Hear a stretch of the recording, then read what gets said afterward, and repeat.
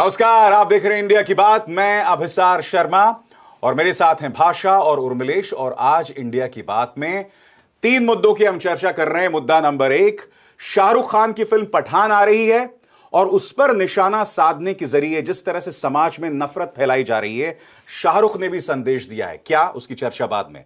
मुद्दा नंबर दो, राहुल गांधी की भारत जोड़ो यात्रा को सौ दिन पूरे हो गए हैं। क्या हासिल हुआ? और मुद्दा नंबर तीन क्या देश में लोकतंत्र एक मज़ाक बन गया है? स्टैन स्वामी के लैपटॉप में सबूत प्लांट किए जाते हैं, उन्हें आठ महीने तक जेल में सड़ाया जाता है और फिर उनकी मौत हो जाती है। ये हो क्या रहा है? मगर शुरुआत हम करना चाहेंगे शाहरुख खान से। जी हाँ, शाहरुख खान की फ़िल्म पठान आने वाली है, मगर उससे पहले उन पर निशाना साधा जा रहा है। उनकी फ़िल्म का एक गाना जारी हुआ है, बेशर्म रंग। उसमें एक छोटा सा फ्रेम है, जहाँ दीपिका पाडुकोन एक ऑरेंज बिकिनी पहने हुए हैं। अब जो नफरती ब्रिगेड है, वो कह रहा है, ये हिंदू धर्म का अपमान है। मैं आपको ढेरों ऐसी मिसाल दिखा सकता हूँ, जहाँ इनके पसंदीदा अभिनेताओं ने इससे बुरा अपमान किया है हिंदू धर्म का, मगर वहाँ ये लोग खामोश हो जाते हैं। मगर शाहरुख खान ने भी कोलकाता से एक संदेश दिया है कि जीत उन लोगों की होगी जो सकारात्मक होंगे और ज़िंदा वही लोग हैं। क्या इस खबर का पंच? शुरुआत हम करना चाहेंगे भाषा से। अभिसार मेरा बहुत साफ़ मानना है कि बीजेपी और आरएसएस की जो विकृत मानसिकता है और खास तौर से मनोरंजन को लेकर, रिश्तों को लेकर, वो पूरे समाज पर और खास तौर से युवाओं को उससे कुंठित करना चाहते हैं, बताना चाहते हैं कि प्रेम, आज़ादी एक वर्जित क्षेत्र है और जिस तरह से एक प्रदेश के गृह मंत्री सीधे सीधे दीपिका पादुकोण को निशाना ले रहे हैं, यह एक शर्मनाक घड़ी है। भारतीय लोकतंत्र के लिए और हम तमाम महिलाओं के लिए। अभिसार, क्या है इस पे आपका पंच? इस मुद्दे पर मेरा पंच यह है कि शाहरुख खान पर निशाना कहीं ना कहीं देश की धर्मनिरपेक्षता पर निशाना है। क्योंकि इसी तरह से आमिर खान पर निशाना साधा जा रहा है। शाहरुख पर तो निशाना साधने की तमाम हदों को पार कर दिया गया। उनके बच्चों को, उनके बच्चे को झूठे केस में जेल में डाल दिया गया। और अब एक विकृत मानसिकता के तहत उनकी फ़िल्म पर निशाना साधा जा रहा है। क्योंकि ये वो फ़िल्म इंडस्ट्री है जिसने अमर अकबर, एंथनी जैसी फ़िल्में दी हैं और भारतीय जनता पार्टी वो सब खत्म कर देना चाहती है। उर्मिलेश जी, क्या इस मुद्दे पर आपका पंच? देखिए, मेरा इस विषय पर बिल्कुल साफ़ कहना है कि भाई, कलर जो है, यानी रंग, ये प्रकृति के हैं, नेचर के हैं। और इस पर किसी दल का, किसी धर्म का, किसी व्यक्ति का कॉपीराइट कैसे हो सकता है? हरा रंग हो या ऑरेंज कलर हो रेड हो, ये सबका है, पूरी दुनिया का है। ये कॉपीराइट क्यों बना रहे हैं लोग? हमें ये बात नहीं समझ में आ रही है। शुक्रिया उर्मिलेश जी, चर्चा को शुरू करते हैं। भाषा में आपसे एक बात जानना चाहता हूँ। देखिए अगर तो वो छोटे छोटे वो नफरती ब्रिगेड के जो शिंटू हैं जिन्हें हम सोशल मीडिया पे कहते वो बात समझ आती। मध्य प्रदेश के गृह मंत्री ये बात कह रहे हैं क्या इस व्यक्ति को कोई और काम नहीं है? आप दीपिका पाडुकोन को टुकड़े टुकड़े गैंग के साथ जोड़ रहे हैं। क्यों? क्योंकि वो जेएनयू पहुँच जाती है हिंसा का विरोध करने। पहली बात तो हमारे फ़िल्म एक्टर्स में वो हिम्मत नहीं है वो शौर्य वो साहस दिखा रही हैं और उस तरह से उस लड़की पर आप लगातार निशाना साध रहे हैं। मुझे याद है पद्मावत की रिलीज़ होने के दौरान आपने एक फरमान जारी कर दिया था कि जो इसकी नाक, नाक काटेगा उसको पैसा देंगे पैसा दे क्या वाहियात सोच? रही तो देखिए मैं इससे यह भी साबित होता है अभिसार कि ये सिर्फ़ मुसलमानों के खिलाफ नहीं है। ये दरअसल हिंदुओं के खिलाफ और हिंदुओं में भी हिंदू महिलाओं के खिलाफ बहुत तगड़े ढंग से देश को मनुस्मृति में ले जाना चाहते हैं। इनको कोई भी आज़ाद महिला। कोई भी ऐसी महिला जो इनके वर्चस्व को चुनौती देती है वो बर्दाश्त नहीं होती। हम्म। स्वरा भास्कर पर भी इसी तरह से निशाना। कितना अश्लील हमला तो ये, कितना ये सारे हमले अब आप देखिए ये सारे हमले ये बताए बताने की कोशिश कर रहे हैं कि ये सारे लोग युवाओं को भड़काने की कोशिश कर रहे हैं अश्लील फ़िल्में कर रहे हैं अश्लील गाने कर रहे हैं। इस तरह की ठेकेदारी और इस तरह की विकृत मानसिकता जबकि हम सब जानते हैं कि ये लोग जब विधानसभाओं में बैठते हैं किस तरह के जोक्स करते हैं सब पब्लिक देख चुकी है। और मोबाइल में किस तरह के क्लिप्स देखते नहीं, हैं। मैं तो खुल के कहूँगी कि अश्लील पॉर्न फिल्म्स देखते हुए पकड़े जाते हैं यही विकृत लोग। बिल्कुल। दरअसल यही विकृति है। उर्मिलेश जी मैं अपने दर्शकों को यहाँ ये बताना चाहता हूँ कि देखिए शाहरुख खान जो है कहीं ना कहीं वो धर्म निरपेक्षता की नुमाइंदगी करते हैं। मैं आपको बताता हूँ क्यों। आपने कभी भी शाहरुख खान को किसी भी फ़िल्म में नफरत का प्रचार प्रसार करते नहीं देखा। वो कभी अपने धर्म को लेकर भी बहुत ज़्यादा जिसे कहते हैं ना रेखांकित करके पेश नहीं करते। हैं उनकी जो तमाम फ़िल्में रही हैं मेरे ख्याल से एक रईस है और एक चकदे इंडिया है जहाँ उन्होंने मुस्लिम किरदार को निभाया है। और यहाँ तक खान में आयम खान में बिल्कुल दूसरे ढंग का किरदार पेश हाँ, किया है। और उन्होंने हमेशा खुद को राहुल राज के तौर पर पेश किया है। उनकी आप निजी ज़िंदगी पर भी देखें तो वो हमेशा दिवाली मनाते होली मनाते दिखते हैं। उनकी वाइफ एक हिंदू हैं भारतीय जनता पार्टी को इससे दिक्कत है इस सबको खत्म कर देना चाहती है। देखिए आपने बहुत ज़रूरी सवाल पूछा है और ये बहुत महत्वपूर्ण सवाल है आज हमारे समाज का क्योंकि फ़िल्म पर अटैक हो रहा है बॉम्बे पर बॉलीवुड की फ़िल्मों पर अटैक हो रहा है। तो बॉलीवुड पर अटैक के पीछे क्या राजनीति है क्या सोच है? अगर आप हिस्ट्री देखिए बॉलीवुड की तो 1946 से लेकर 1954 के बीच में भारत के लगभग सभी क्षेत्रों में और सभी भाषाओं में सभी भाषाओं में एक बहुत बड़ा सांस्कृतिक आंदोलन इस देश में चला था। और ये दरअसल 1946 में तो काफ़ी कॉन्क्रिटाइज किया लेकिन इसकी शुरुआत 36 सैंतीस में ही हो गई थी। और वो अखिल भारतीय था जैसा मैं कह रहा हूँ और अखिल भारतीय जब मैं कह रहा हूँ तो उस समय अनडिवाइडेड इंडिया था। पाकिस्तान। तो हर तरफ़ था। लाहौर एक बहुत बड़ा केंद्र था। दूसरा बड़ा केंद्र मुंबई था बंबई था जो अब मुंबई कहलाता है। इसके अलावा कानपुर एक केंद्र था इलाहाबाद एक केंद्र था। इस तरह के केंद्र थे बड़े बड़े जो बंबई का जो बॉलीवुड बना उसमें उसी कल्चरल मूवमेंट के लोग बड़ी संख्या में आए। वे कौन लोग थे? गीतकार थे स्क्रिप्ट राइटर थे प्रोड्यूसर थे डायरेक्टर थे। लोगों ने अपनी अपनी हवेलियाँ बेच करके कई जगहों पर लोगों ने हवेलियाँ बेची और फ़िल्में बनाना शुरू किया। तो हमारा कहना है कि बॉलीवुड की आज की जो जनरेशन है वो लंबे समय तक उस जनरेशन के जो ग्रेट ह्यूमन वैल्यूज़ थे कल्चरल वैल्यूज़ और भारतीय जनता पार्टी इन कल्चरल वैल्यूज़ को खत्म करना हाँ, चाहती एक है। सेकंड मैं वहीं आ रहा तो ये जो कल्चरल वैल्यूज़ थे उनको आज की जो पीढ़ी है उसमें अनेक लोग हैं जो उसको एक तरह से फॉलो या उसके साथ जुड़े रहे हैं। शाहरुख खान का जो आपने नाम लिया हाँ, उसके उसके पिता उसके दादा तमाम लोगों की अगर आप देखिए पृष्ठभूमि वो बहुत ही शानदार है और पूरी तरह इंडियननेस के साथ है पैट्रियोटिज्म के साथ है। ये आ, उससे नफरत करते हैं। ठीक है। ये बॉलीवुड की जगह दरअसल जैसे टीवी पुरम खोला है ना हाँ। वैसे ही ये और एक तरह और उसके का- लिए मैं और उसके लिए विवेक अग्निहोत्री हाँ, एक हाँ, तरफ़ एक आ तरह सकते का हैं और फ़िल्म एक पुरम चाहते हैं। फाइल्स हाँ, टाइप एक तरह का फ़िल्म पुरम चाहते हैं और ये जो चलचित्र पुरम कह लीजिए हाँ। और ये चाहते हैं कि उसमें दकियानुसी विचारों की फ़िल्में बिल्कुल मैं आपको बता दूँ देखिए बॉलीवुड का ये इतिहास है मैं आपको एक छोटी सी मिसाल देता हूँ। अभी दो ही दिन पहले मैं मुगले आज़म देख रहा था। मुगले आज़म कहने को मुगलों पर फ़िल्म है दोस्तों, मगर उसके अंदर भी अगर आप देखेंगे ना, धर्मनिरपेक्षता, सामाजिक एकता का जो संदेश है, वो फ़िल्म देती है। गंगा जमुना देखिए, एक मुस्लिम एक्टर एक ऐसे व्यक्ति का किरदार निभा रहा है जिसका राम में अटूट विश्वास है। ये चीज़ें हमें अखरती नहीं थी। अमर अकबर एंथनी देखिए। अमर अकबर एंथनी जैसी फ़िल्म में अमर अकबर और एंथनी है मगर जो असली हीरो है उसमें एंथनी है एक ईसाई किरदार है जो आज के दौर में हम सोच नहीं सकते हैं। ये लोग इस चीज़ को खत्म कर देना चाहते हैं। और देखिए इनको डर भी इसीलिए लगता है इसलिए चुन चुन के कुछ फ़िल्में कश्मीर फाइल्स को आप प्रमोट करते हैं और वह अंतर्राष्ट्रीय मंच पर जब ज्यूरी उसे कहती है कि यह बहुत सड़ी मानसिकता वाली फ़िल्म है गंदी है प्रोपोगंडा करने वाली है तब आप दूसरे ढंग से डिफेंस में जाते हैं पूरी सारा सरकार आ जाती है डिफेंस में। और सारा मीडिया ये मीडिया। बताने लग जाता है कि नहीं इजराइल भाई के इजराइल के नेताओं से बोलवाना शुरू कर बोलवाना शुरू हैं। कर तो ये मैं कह रही हूँ कि ये जो एक विभेद वाली राजनीति है ये जो डिस्क्रिमिनेशन और बाट टुकड़े टुकड़े गैंग बोलते हैं अ,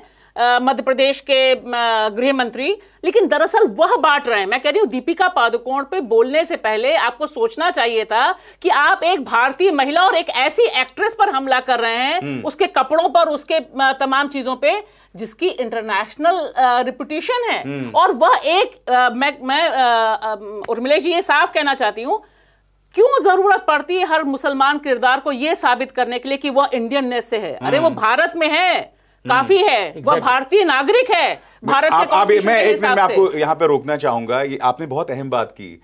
अ, अभी हमने दो तस्वीरें देखी थी। शाहरुख जो हैं वो मक्का तो गए थे मगर उसके तुरंत बाद वो वैष्णो देवी भी चले जाते हैं। शायद ये उसी मजबूरी का हिस्सा है। हालाँकि मुझे मुझे ऐसा लगता है कि शाहरुख नेचुरली सेक्युलरिज्म में विश्वास रखते हैं। और फिर आपको याद होगा आमिर खान को अपने दफ्तर की वो तस्वीरें जारी करनी पड़ी थी जिसमें वो पूजा अर्चना कर रहे हैं। तो ये जो बात कह रही थी ना कि मुसलमान को अपने इंडियननेस को साबित करना पड़ता है। मगर उर्मिलेश जी मैं एक और चीज़ आपसे पूछना चाहता हूँ। कोलकाता में अमिताभ बच्चन तक को कहना पड़ा कि इस देश के अंदर अभिव्यक्ति की आज़ादी खतरे में है और उन्होंने तुलना की 40 के दशक में, जिस तरह से पाँच पाँच सेंसर बोर्ड्स काम किया करते थे। अमिताभ बच्चन जैसा व्यक्ति जो खामोश रहता है, उन्हें बोलना पड़ रहा है। और शाहरुख का मेरे ख्याल से खूबसूरत संदेश है, मैं चाहूँगा इसे आप आगे बढ़ाएँ। जब वो कहते हैं कि हम सब जो है ना, जो सकारात्मक हैं पॉजिटिव ऊर्जा से जुड़े हुए हैं वही सही मायने में ज़िंदा है और वो एक बात और सोशल मीडिया पर जो एक क्रिटिक हम्म। पेश करते हैं मतलब मैं समझता हूँ कि मैं सहमत हूँ सोशल मीडिया का एक बड़ा हिस्सा हम्म। जिस तरह से उल जलूल चीज़ें उगलता रहता है उससे कितना ज़्यादा फ़ायदा होता है जो इस तरह की फोर्सेज हैं जो कल्चर को बलगराइज करना चाहती हैं जो ह्यूमन रिलेशंस को डिस्टॉर्ट करना चाहती हैं उनको फ़ायदा होता है दरअसल हम्म। और सोशल मीडिया के जो पहलवान हैं वो समझते हैं कि उन्होंने बहुत बड़ी पहलवानी कर दी हम्म। बहुत बड़ा चमत्कार कर दिया तो उस, उसका शाहरुख खान कहना ये बहुत ज़रूरी है और बहुत सही है दूसरी बात जो मैं कहना चाहता था कि देखिए जिस तरह की फ़िल्मों को मौजूदा निज़ाम हम्म। प्रोजेक्ट करता है आपने चर्चा की मैं फ़िल्मों की चर्चा नहीं करूँगा बहुत सारी फ़िल्में ऐसी हैं इनको अंतर्राष्ट्रीय फलक पर हम्म। एक गलीज किस्म की वलगर हम्म। ढंग की फ़िल्म के रूप में कहा जा रहा है अनेक लोग कह रहे हैं कहीं इनकी कोई मान्यता नहीं है इस तरह के लोगों की आप बिमल राय सत्यजीत रे श्याम बेनेगल या इवन शाहरुख खान हम्म। आज के दौर में अनेक लोगों का मैं नाम ले सकता हूँ भारत के सिनेमा के नाम पर अगर कोई याद किया जाएगा या पूरी दुनिया में हम्म। अगर कोई महत्व है कोई औकात है कोई हैसियत है तो इन लोगों की फ़िल्मों की है, है। आप इन्हीं पर अटैक कर रहे हैं आप इसी ट्रेडिशन को मार रहे हैं तो आप भारत की ट्रेडिशन को न सिर्फ़ उस ट्रेडिशन को मार रहे हैं ट्रेडिशन को मार रहे हैं। न सिर्फ़ यही भाषा में बताना चाहूँगा देखिए न सिर्फ़ इस ट्रेडिशन को मार रहे हैं बहुत अहम बात यहाँ कह रहे हैं आप। बॉलीवुड जो है या हमारी फ़िल्म इंडस्ट्री वो इस देश की सॉफ्ट पावर रही है। उसने हमारा वजूद, हमारा वर्चस्व कायम किया है। और देखिए, हम हिंदी फ़िल्म इंडस्ट्री की तो बात कर रहे हैं। आपने देखा, एक कोलकाता की फ़िल्म इंडस्ट्री है, एक साउथ है। इन पर इनका अभी तक दबदबा नहीं चला है। क्योंकि अभी भी साउथ से इतनी खूबसूरत फ़िल्में आती हैं, खासकर मलयालम मलयालम फ़िल्म इंडस्ट्री से, जो मौजूदा हालात पर टिप्पणी करती हैं, बेखौफ। क्योंकि वहाँ पर ये भगवा असर नहीं है। और तमिल यहाँ पर बीजेपी का असर नहीं है। तमिल तमिल सिनेमा। तमिल सिनेमा में अनेक फ़िल्में अच्छी आई कोलकाता कोलकाता से जो फ़िल्में बनती है वहाँ पर भी वो टिप्पणी है। लेकिन देखिए अभी साहब मुझे लगता है कि जो शाहरुख ने कहा हम्म। दरअसल वो आज की स्थिति में सबसे बड़ी टिप्पणी है हम्म। कि जो नफरत फैलाने वाली पूरी इंडस्ट्री है वो कितनी ऑर्गेनाइज है और वो किस तरह से हमलावर चुटकियों में होती है।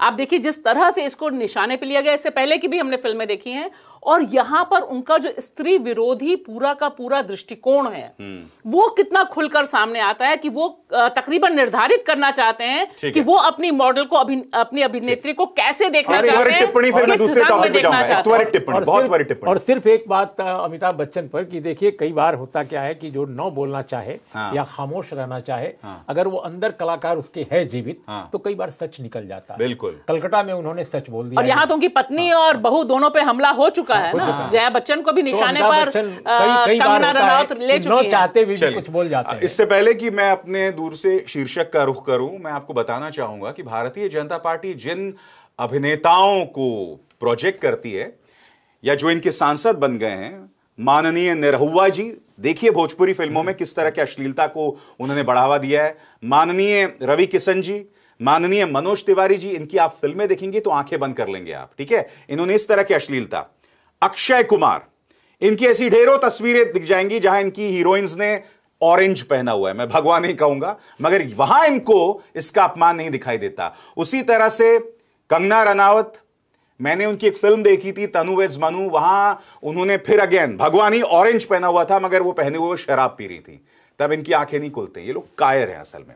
चलिए, अब दूसरा रुख करते हैं मुद्दे का। राहुल गांधी की भारत जोड़ो यात्रा के सौ दिन पूरे हो गए सौ दिन, क्या हासिल हुआ? जब से यात्रा शुरू हुई है, राहुल गांधी पर लगातार हमले किए जा रहे हैं। वो आगे बढ़ रहे हैं, मगर अब सवाल यह भी किया जा रहा है कि इसका असर क्या पड़ने वाला है, क्योंकि आज़ाद देश के इतिहास में हमारे सामने ऐसी ढेरों मिसालें हैं कि जब भी किसी ने आंदोलन किया है या किसी ने यात्रा की है तो उसका असर ज़रूर पड़ेगा। मगर क्या इसको, ये फ़ायदे में तब्दील हो पाएगा कांग्रेस के लिए? क्या है इस मुद्दे का पंच? और मिलेश जी आपसे शुरू करते हैं।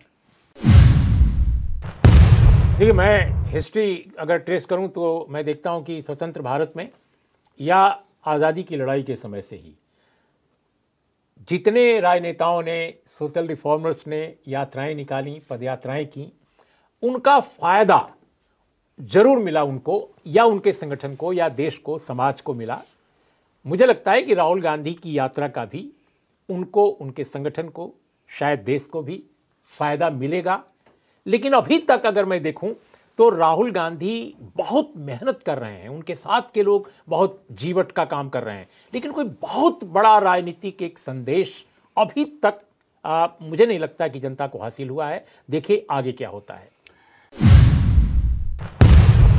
इस मुद्दे पर मेरा पंच यह है कि बहुत ज़रूरी हो जाता है कि कांग्रेस का प्रचार तंत्र मैसेजिंग पर काम करे। और जब मैं मैसेजिंग की बात करता हूँ, यानी कि अपनी संदेश को जनता तक कैसे पहुंचाना, क्योंकि देखिए, मुख्य धारा का मीडिया आपके खिलाफ है, आपका मज़ाक उड़ा रहा है, इसलिए अगर आप इस पर काम नहीं करेंगे तो जंगल में मोर नाचा किसने देखा? वही हिसाब किताब होगा। भाषा, आप बताइए, इस मुद्दे का क्या है पंच?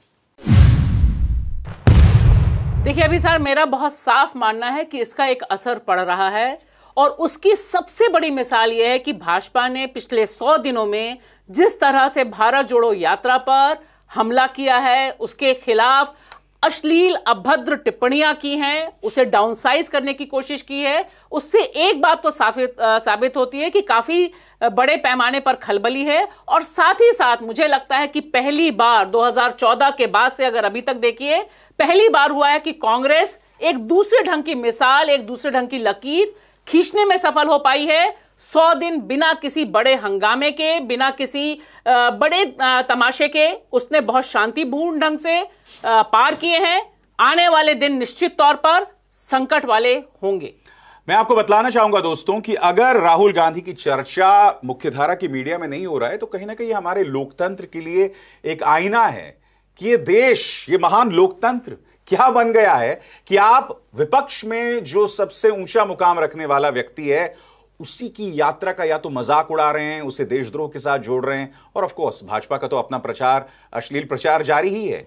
मैसेजिंग राहुल गांधी कुछ कुछ बीच में बहुत अहम मैसेजिंग कर रहे हैं। मसलन जो उन्होंने परसों शायद दिया था प्रेस कॉन्फ्रेंस नहीं प्रेस कॉन्फ्रेंस नहीं उन्होंने एक आ, सभा को संबोधित किया। उन्होंने बहुत आ, एक बड़ी दिलचस्प बात कही। उन्होंने कहा कि यह देश इस वक्त सौ लोग बनाम पचपन करोड़ देख रहा है। यानी सौ लोगों के पास जितनी दौलत है उतनी पचपन करोड़ लोगों के पास है। यही सौ लोग ये फैसला करते हैं कि देश में मीडिया में क्या दिखाया जाए। यही सौ लोग ये फैसला करते हैं कि मोदी जी क्या करें। तो राहुल गांधी कमज़ोर नब्स पर हमला ज़रूर कर रहे हैं।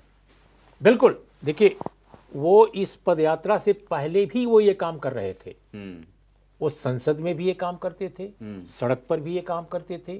अपनी चुनाव सभाओं में भी ये काम किया करते थे। हमारा ये कहना है कि उनकी पदयात्रा के पैरेलल हम्म।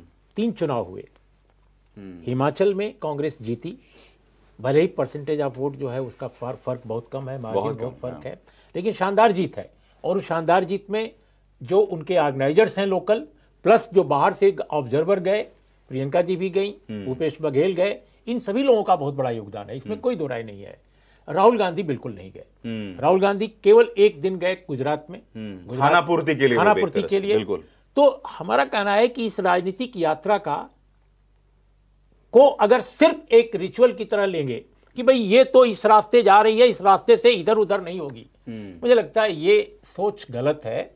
आप गुजरात जैसे एक सेंसिटिव स्टेट एक महत्वपूर्ण पॉलिटिकली सेंसिटिव स्टेट उसको नजरअंदाज करके और एक तरफ़ बढ़ जाएँगे महाराष्ट्र में जाएँगे लेकिन गुजरात में नहीं जाएँगे मुझे लगता है ये कुछ ज़्यादा है हम्म। राजस्थान में आप इतने दिन रहे इतने दिन रहे अरे भाई कुछ दिन उसका काट लेते कुछ महाराष्ट्र का दिन काट लेते हम्म। केरल जैसे स्टेट में 18 दिन रहे आप जो बहुत छोटा स्टेट है हम्म। और जहाँ एक बहुत ही आई मीन एक ही तरह की तो मैं नहीं कहूँगा लेकिन एक प्रगतिशील सरकार है लेकिन आप गुजरात में बिल्कुल गायब रहे हाँ। हमारा ये कहना है बिल्कुल आखिर में कि इस राजनीतिक यात्रा का इस पदयात्रा का जो बड़ा राजनीतिक संदेश हो सकता है हम्म। वो क्या हो सकता है कि कैसे जनता का आप आह्वान करें कि वो ऐसी जिसकी बात आप कर रहे हैं पचपन करोड़ बनाम इतना हाँ।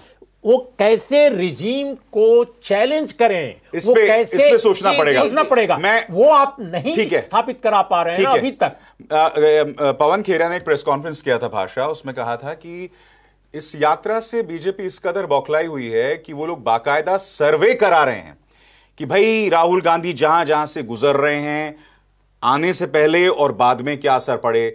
और पवन खेरा ने यह भी कहा कि देखो इससे कितना डरी हुई है। मैं तो कहता हूँ ये एक गलत किस्म की सोच है क्योंकि इससे पता चलता है भारतीय जनता पार्टी कितनी मुस्तैद है। वो मुस्तैदी आपके यहाँ गायब है। जी। मैसेजिंग के टर्म्स में भी और एक समानांतर कार्यक्रम पैदा करने के तौर क्योंकि देखिए एक बात मुझे लगता है कि अभिसार यह भी समझना ज़रूरी है कि हम जिस मैसेजिंग की बात कर रहे हैं हम्म। वो मैसेजिंग होगी कैसे और वो मैसेजिंग के तरीके क्या हैं हम्म। आज की तारीख में जो मैसेजिंग है जिसको आप ज़िक्र कर रहे हैं सवाल है जो मीडिया है ये मीडिया राहुल गांधी की भारत जोड़ो यात्रा को कब दिखाता है? वह तब दिखाता है जब उसे निगेटिव कोई खबर मिलती है कोई मैसेज आता है कि इस पे आज प्ले करना है निगेटिव प्ले करने के समय आ, आप उसको दिखाते हैं। दूसरी तरफ़ और पूरा बाकी- टूल किट पूरा टूलकिट टूल किट तैयार हो जाता है एक ही ढंग से। ट्वीट्स नहीं ट्वीट से लेकर क्या प्राइम टाइम में दिखाया जाए? पूरा एक सोच एक लड़ी के हिसाब से चलता देखिए है। आरबीआई के एक्स गवर्नर जब हाँ। जाते हैं। तब ट्वीट चलता है और तब दिखाया जाता है कि किस तरह से है। कुणाल कामरा जाते हैं तब हाँ। दिखाई दे जाता है।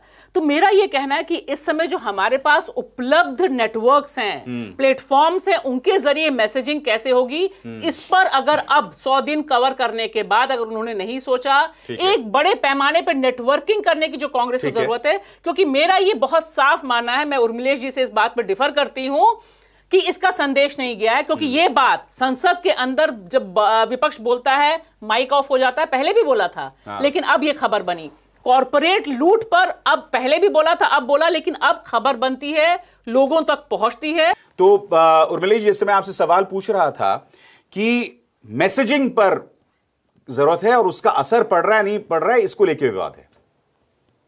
हाँ नहीं मतलब अलग अलग ढंग का सोच है लोगों का।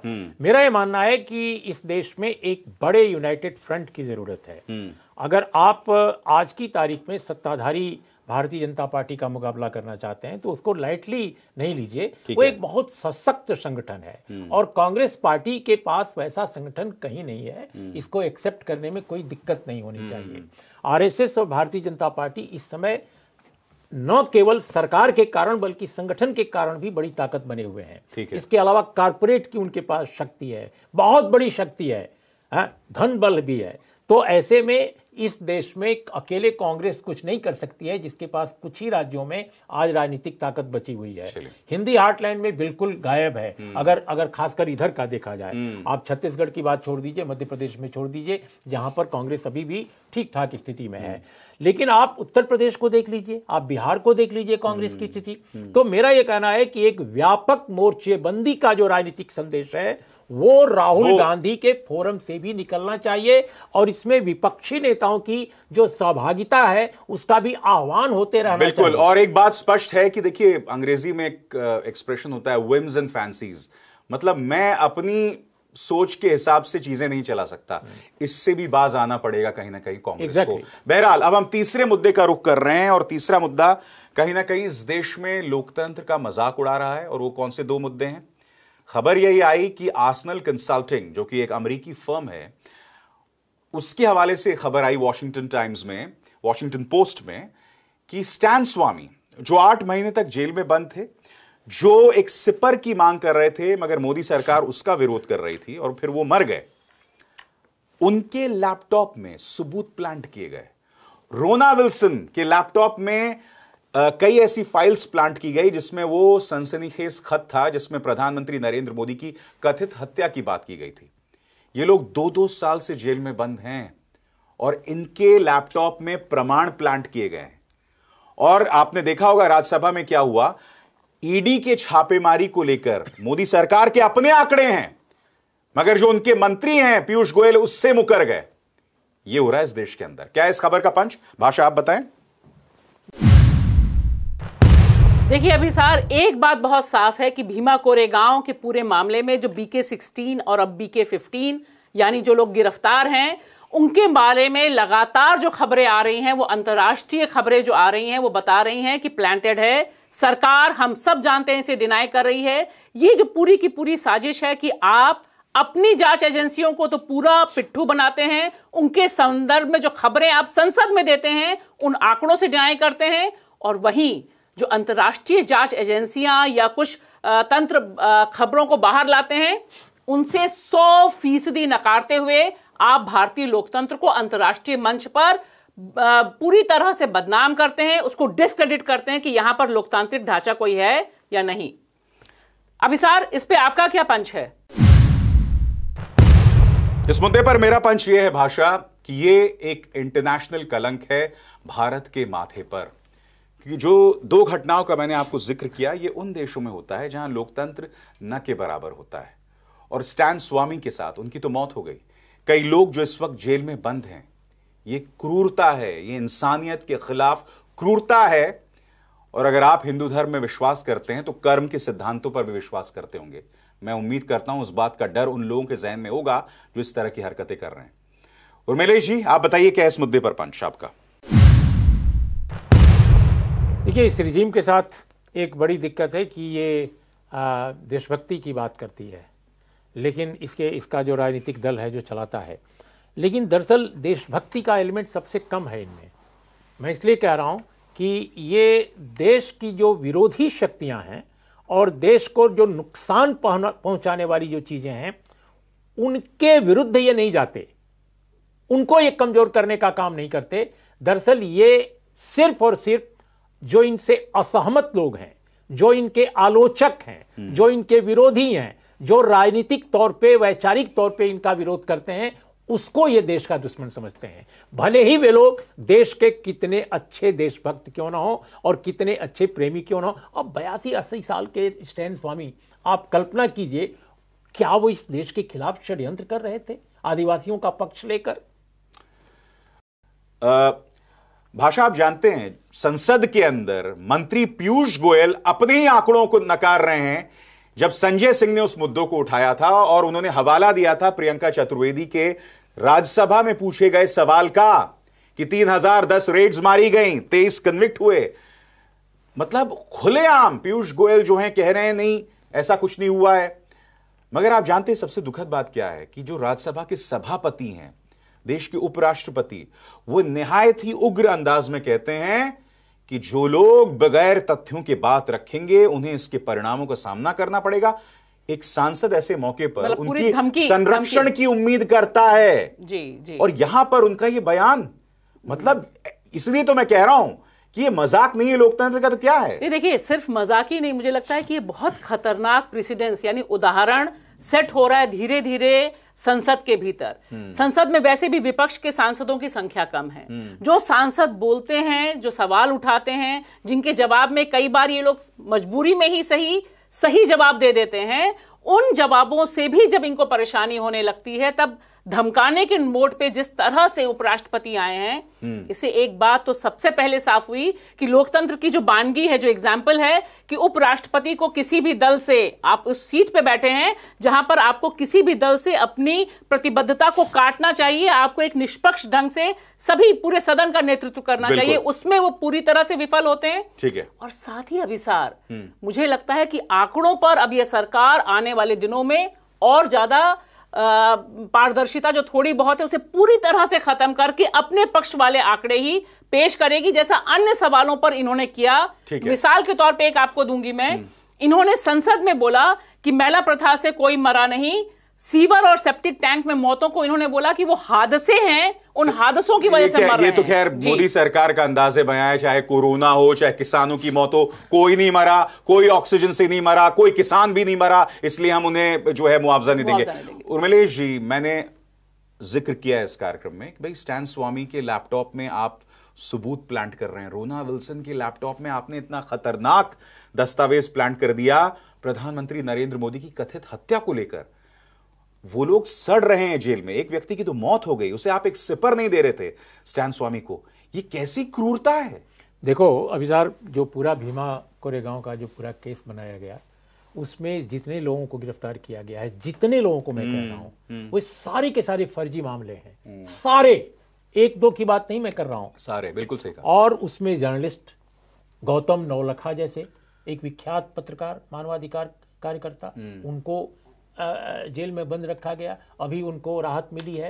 आनंद तेल तुमड़े? हाँ, आनंद तेल तुमड़े- तुमड़े सुधा भारद्वाज कम से कम शुक्र है वो रिहा हो गए। और आनंद तेल ज़िंदा ज़िंदा रिहा हो गए। आनंद तेल तुमड़े को तो उन्होंने कहा भी कि केस मेरिट के लेवल पे बाहर किया गया। इनमें से ज़्यादातर लोगों के कंप्यूटर में इस तरह का खेल किया गया खासकर मुंबई वालों के।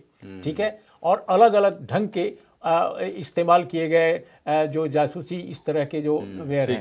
अब जैसे इन्होंने नेटवेयर कोई है नेटवायर इसमें इस्तेमाल किया इनके मामले में स्टैन स्वामी के मामले में। इसी तरह मुंबई के कुछ लोग थे उनके उनके उनके कंप्यूटर में कुछ दूसरे ढंग के डाले गए। तो ये जो एक षड्यंत्र रचना अच्छे लोगों को षड्यंत्रकारी बनाने के लिए। कमाल की बात है। शरीफ लोग हैं बेहतरीन किस्म के लोग हैं पैट्रियट हैं जनता को चाहते हैं तरक्की हो समाज की और उनको आप षड्यंत्रकारी षड्यंत्रकारी साबित करने में लगे हो षड्यंत्र करके। ये बहुत ही खतरनाक ट्रेंड है मौजूदा देश के अपने नागरिकों के खिलाफ ही इस तरह की साजिश करना भी एक खतरनाक बन गया है। वाकई बहुत भयानक है आप कल्पना कीजिए हम तीनों के पास मोबाइल हैं ये भाषा का मोबाइल है ये मेरा मोबाइल है और मिलेश आप भी दिखा दीजिए अपना मोबाइल। ये है। कोई इसे हैक करके इसमें कुछ भी डाल दे कुछ भी डाल दे और हमें फिर दो साल तक जो है जेल में सड़ा सकता है। वैसे मुझे ऐसा बोल- देखा नहीं वैसे मुझे ऐसा बोलना नहीं चाहिए क्योंकि हमारे कार्यक्रम को कुछ बहुत महानुभव देखते भी हैं। इंस्पिरेशन ना ले लें कहीं उस बात से।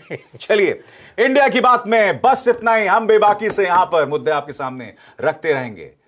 हम सबको अनुमति दीजिए। नमस्कार।